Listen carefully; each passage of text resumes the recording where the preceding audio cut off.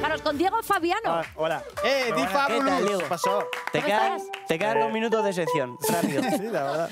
Ya, ya, es que, es que Pablo es, es como un niño ¿Eh? pequeño muy absorbente. Mira, Ah, está, con los mapas ahora. Eh, vale, vamos ahí. Se ha sorprendido porque era Madrid, ¿eh? Jeff Bezos. Oh, ¿Sabéis de quién digo, no? Bam, Sí. sí. Eh, el fundador de Amazon. Mi padre. El pollo más rico del mundo. Eh. El pana que tiene toda la lana. ¿Sabéis a qué me refiero? Hombre, ¿Sabéis, sí, no? sí. Sí. El, el cuate ese que tiene tanta mosca. Mosca, ¿eh? El parcero que tiene mucho parné en el banco. ¿Cuándo acaba esta, cata- esta catarata de chamo- metáforas? Me quedan dos. Ahora sí que El chamo, Como el chamo que tiene todo el gamo. El guido que tiene tantos churubiantes. Churbia. Esa no la había sabido, ¿no? Eso te has inventado. Esa me inventé, Has estado sí. Sí. quemando el diccionario de sinónimos de internet, ¿eh? Bueno, la cosa es que le hackearon el móvil. No sé si lo sabías. Sí. ¿Y Correcto. ¿Quién se lo hackeó? Eh, nada menos que el príncipe de Arabia Saudí. Boom. Presuntamente. Va, hacker, ¿eh? Presuntamente. Sí. Eh, La gente rica que se aburre y se hackea los móviles. ¿Cómo lo hizo? Le mandó un vídeo por WhatsApp con un virus que espiaba, ¿no? Ya. Entonces, pues, a ver, más contexto histórico. Unos meses después de esto, Sí. asesinan a Jamal Khashoggi, Sí. un periodista crítico con el gobierno del príncipe que escribía para Washington Post. Ajá. Y tiene toda la pinta de que el príncipe, ¿sabes? Como que tuvo algo que ver ahí. A ver, ahora, ¿Qué, intenten qué- no qué caerse. quieres, ¿Qué quieres decir? Intenten, Estoy, estoy intentando averiguar cómo vas a meter comedia en estas Sí, sí. Porque vas a una zona un poco turbia. Qué mal rollo, tío. dame, dame tiempo. Intenten no caerse de sus sillas Ajá. cuando les diga que el dueño del Washington Post, ¿quién es? ¿Quién? Es Oh, Jeff Bezos. Oh. Que se lo compró hace unos años. Ujú. Le sobraba un poco de pasta y dijo, bueno, me compro el un Washington. periódico, claro. Tengo suelto, ¿qué hago? Ah, un periódico. Dijo, cómprame el periódico. Y no lo he entendido. Sí, Bueno. se lo toma literal. Eh, estáis metiendo mucho con mi padre, al final me voy aquí a liar a hostias, ¿eh? a ver, eh, vamos a centrarnos, Sergio. Sí. Es todo mentira, no es tu padre. ¿Qué, qué hizo el Washington Post? ¿Qué hizo? Eh, ¿Dejó de hablar del príncipe de Arabia Saudí? No. No. Claro que no, bro. ¿Qué entonces qué pasó? El príncipe, el príncipe se empezó a calentar. Ajá. Empezó, ¿qué hace este pavo? Hablando mierdas de mí, lo voy a reventar, ¿sabes? Y entonces, poco después, el National Enquirer... Ahora mismo esto es como un documental de Netflix hecho por el Cejas. Más o menos. pues sí. Yo me estoy enterando más de lo que pensaba. La verdad es que estoy aprendiendo también. Vosotros seguidme.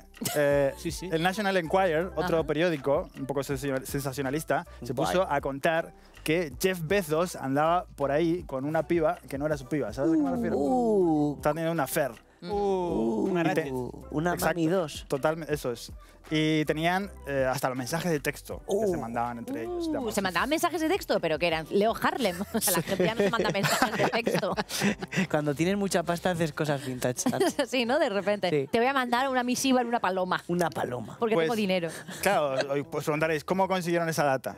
¿Sabes? ¿Dónde sacaron los mensajes de texto? Igual del móvil hackeado. Mm, Igual es posible que el dueño del National Enquirer, de, que se llama David Pecker, por cierto, ujú. que se había reunido alguna que otra vez con el príncipe de Arabia Saudí, atención, y que es colega de Trump, Uh, que también le tiene un poco de ganas al Washington Post, Uy, porque de es crítico gente. con él. ¿Es posible, acaso, que organizaran una campaña para desprestigiar a Jeff Bezos y al Washington Post usando el móvil hackeado por estar hablando mierdas del príncipe? ¿Es posible o no? Es posible. ¿Estoy loco? O sea, que está todo conectado. ¿Qué quieres que te conteste? ¿Que no Eh, o la verdad? Has tirado el guion para diciendo que Ya- habías acabado la sección y Sí. la has vuelto a coger. No, tengo- no la había terminado. Me faltaba. Pues, Me faltaba- Ha sido muy lamentable esto. Ha sido un gesto dramático sé. que has lamentado, ¿no? Porque te has dado cuenta que tenías más texto. Es como tirar una copa en mitad de una fiesta y chupar el suelo porque Sí. te quedaba un poco. Es, es una performance, pero me falta esta última reflexión. Sí, es como decir a tu pareja, te dejo. Ma- en marzo. Igual. ¿A dónde hemos llegado, Ana? Pablo y Bueno, Sergio. Es una buena pregunta. Ya no podemos confiar en que una persona tenga muchísimo, muchísimo poder y no tenga que rendir cuentas a nadie. No podemos confiar en que esa persona no haga lo que le dé la gana. Es verdad. Me niego a creerlo. ¿En qué mundo estamos? Soy un ¿Qué va a haber ahora? ¿Normas para todos? Yo me he liado con la pregunta, ¿eh? Pero os dejo Ya, a fue un poco confusa y larga. Yo pero es que hay- creo que ha habido doble negación y cuando me pasa a mí eso me...